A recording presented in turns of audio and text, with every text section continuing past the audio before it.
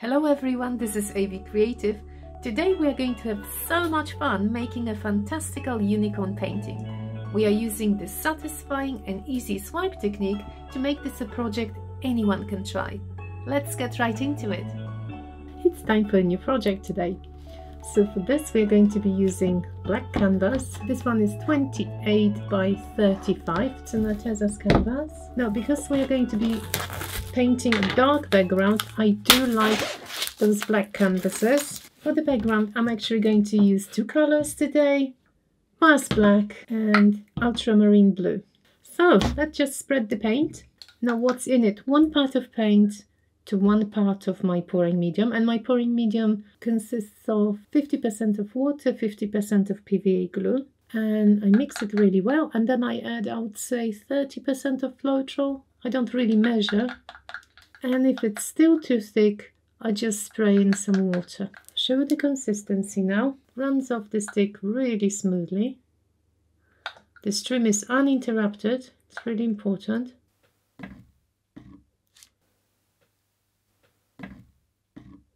I want it a bit lighter at the top. This color looks always much, much, much, much darker once it's dry.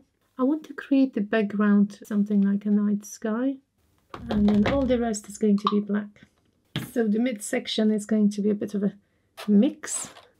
I don't want the edge to be really sort of sharp. I want to blend it in.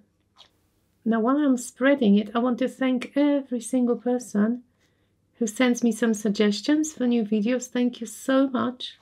And there were a couple of people who actually mentioned the unicorn. Perfect, the colors can blend in as they wish. You know, I was thinking we actually don't have to pour the background. You can always paint around your image. But I must say something, you know, for pouring. Uh, when you pour the background, it always looks better. You've got a really nice coverage and you've got this kind of shiny effect that brush won't give you. Well, unless you varnish it really well, you know. This is the next day, very next day. It's completely dry now. It's very dark now, just a deep blue and black. Now I did have a horse from my previous horse painting. However, this canvas is different size. I need a smaller horse. So I was trying to resize it and turn it into a, a unicorn. In the end, I started sketching various unicorns and I think I'll go with this one. I tried various legs, but none of the legs will be seen in full on my canvas, which is absolutely fine. So that's it. You can find a ready stencil online, you can copy some of them, but make sure you either buy it or find a royalty-free one, so there's no problem later. If you know some horses or you took some pictures of a horse, you can draw it from your own photo. Okay, so I am going to transfer this onto Frisket paper. Do you know what the easiest way to transfer an image is? My students love it, they call it magic you just tape it down to whichever page you want to transfer it to. You make sure that the lead is touching the page, the lead of a pencil, and I did use 4B pencil, which helps. It's a softer, darker pencil. I'm taping it so it doesn't move. Some people just, just draw over the lines, but I am too impatient. So now you basically press the lines with something well, blunt. Sometimes I just use my nail, but you may not like the noise, you know, scratching with the nail. So, or just draw with a pencil. I think I finished. Let's just peel it off. And it might be that some sections will need some touch-ups, but that's fine. I should have the whole silhouette. Yes. See? Uh, this part is not finished because that's where his mane will go when I do the pouring. I think I'm just going to do it. It's an indication of gentle spiral. You can also adapt. You can make all the necessary adaptations once you cut it. I think that's that looks kind of good to me. The one thing you have to pay attention to once you cut um, the, the horse's face, the the muzzle, make sure it's actually pretty accurate because you don't want your horse to look like a dog or some other creature, which is possible very easily. Because I'm going to use the stencil, what I need, I want the outside. So I'm cutting out my unicorn very carefully, leaving all the outside because that's what I need. Okay, that will take me some time, so put some music on, have a cup of tea or coffee as I usually say. You can even use AB Creative mug. To be honest, I actually enjoy those, well, some people may say those tedious bits, you know, when you have to cut something, because I really can relax, you know, listen to something and really, really enjoy myself. So I don't rush anything. I finished cutting my unicorn. I think he looks quite pretty. Okay, so I'm ready to stick it down. I'm just wondering how high can I go? That's probably the highest I can do. So as you see, I'm just reiterating again the same, so we are keeping the outside. But I do keep these just in case I've got something else on my mind, you know, I've got lots of ideas, so I'm just keeping that. There's a link to Frisket paper if you're interested. Oh, by the way, I didn't tell you, it's going to go this way. And I did want it the other way. Frisket paper doesn't leave this nasty sticky residue, that's why I prefer it. When you stick it down, make sure it, it's really smooth. There are no air bubbles. And it's, it's really flat. It's very important. Uh, so basically I've got most of it done. Just this one little section somewhere here. I'm, I'm checking where it should go. So that's the hoof here. Oh, okay. So I've got it. I need it here.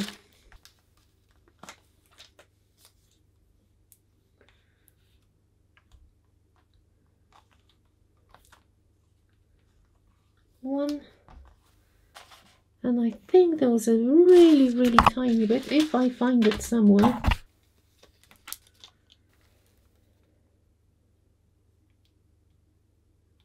and that's it you see that now you can see really well make sure they're really well stuck now if you want to do the same project this section is optional but I like doing it. I am going to actually seal the edges, all the edges with white.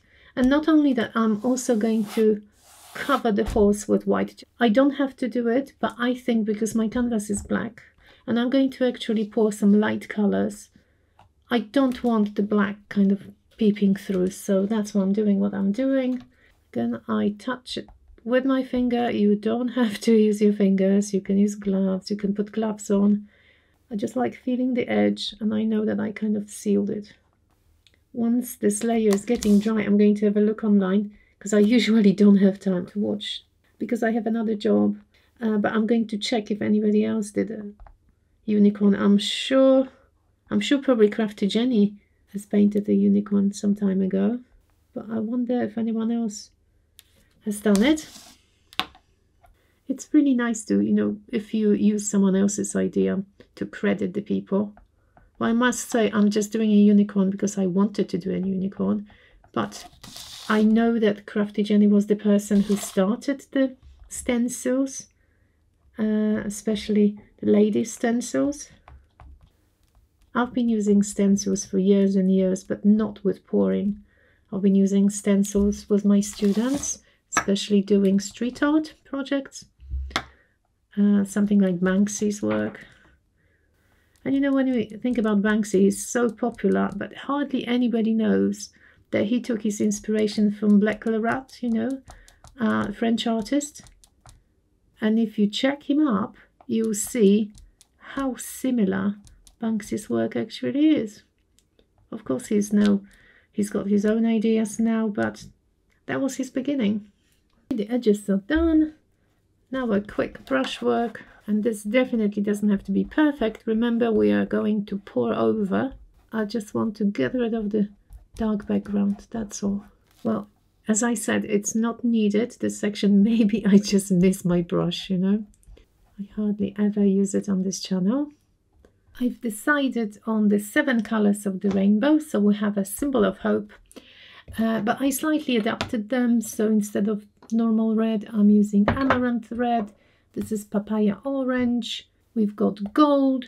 This is turquoise that I mixed myself. Electric blue, pearl lilac, and rose. Now I'm also going to use titanium white and I'm going to put one drop of silicone in my white. Did I say one or two drops of silicone? One, two. If you want smaller cells, more like lacing, then you mix it really well. I'm going to apply the white without silicone just, just at the edges because I don't want his mouth to be dotty. Um, maybe this is going to be white as well. Actually, I'm thinking and thinking, and I think I want this edge white as well. Now the most important thing for this part, I am going to cut some paper towel into strips for swiping. This is regular paper towel, nothing special. Okay, now let's layer our colors. Um, so that's the first color. They will be blending. I don't mind actually if they blend a bit. Now we've got, well, yellow. No, it's actually gold. Turquoise. Now this is electric blue. I'm overlapping the them just a bit. And I'm going to add a bit of white here. Make some wispy mane on this section. So what do we have? A bit of lilac now. And my last color, rose. This is the white with silicone. And I am going to pour it here.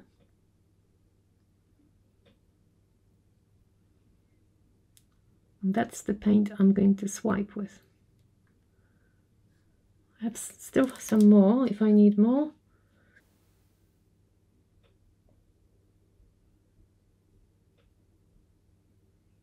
I'm spraying napkins with water. So we start.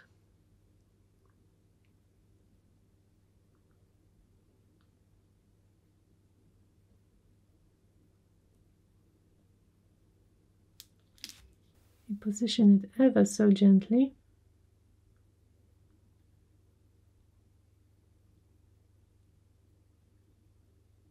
That's so pretty.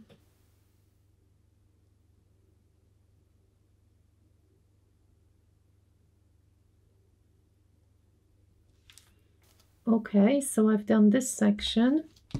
Now the mane is going to be going down.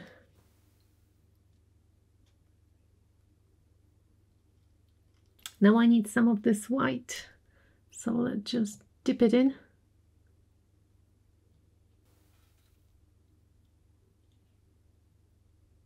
Just wondering if I go again this way, just want a bit more color here. I think that looks really nice, doesn't it? Dipping in this white. Okay, and now I'm going to add really small amount of this silicone white and then swipe these bits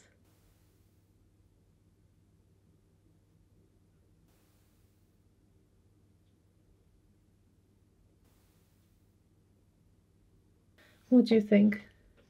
I was about to leave it till it's completely dry, but I don't know what's wrong with me. I just have to peel it when it's wet. So I came back and I am going to start peeling it off. Let me just find which section to start with. I really don't want to destroy it. Oh.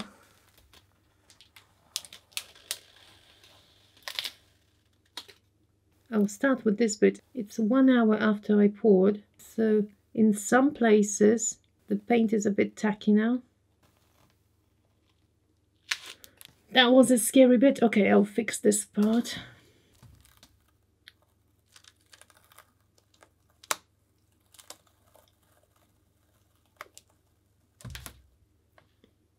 Okay, I'll try to be super, super careful.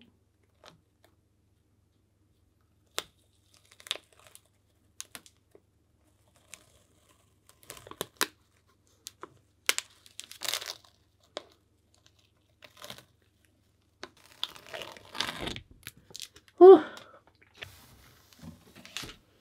Oh, he's looking so nice.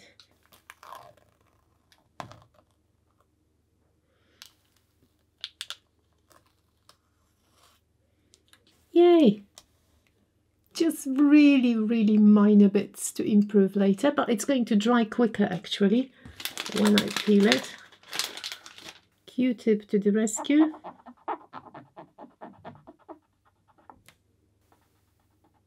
The blue, when once you touch the blue with water, it gets lighter, so that's not a problem. You see, there was a droplet of water, so it becomes really light. Okay, so now I can look at the time. 10 past 1 a.m. My unicorn is ready, completely dry. Can you see the gold? Those beautiful cells. I'm pretty happy with how it came out. However, I can't really see this. I'm not sure if you can see the difference between the blue and the black. So what I've decided, I've decided to add a bit more blue to the background.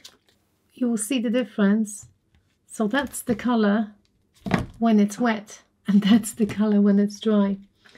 So I'm just going to add some sections, lighten them up, hopefully.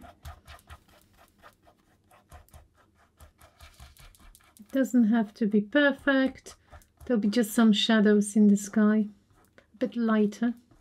And if need be, I might even add a bit of white to it, just to lighten it up. You can see how the pouring section was, how shiny that was, but it doesn't matter since I'm going to varnish it anyway. I'm going to add a bit of blue here as well. It's very difficult to cover the background with this blue because it's it's not opaque, it's transparent. You can see the square that tells us that the paint is actually transparent. Well, but, but when I started, I wasn't sure whether I wanted black background or blue, so it's all right. I think I'm almost done. I'm a bit tempted to add a bit of gold here because of those lovely golden cells and I'm imagining that there's some light coming from this direction. So how about adding just a little bit of gold? Okay, I'm going to leave it to dry. Then I'm going to varnish the piece. By the way, uh, I know lots of you will be asking, if you use silicone, how do you actually get rid of the residue? So I usually wash it with just a sponge with soapy water. Sometimes I spray it with isopropyl alcohol and then wipe it off as well. This is the spray I'm going to use. It's Liquitex Gloss Varnish, but unfortunately I'm going outside. I'm not going to spray in my studio. So I'll be back with the spray piece.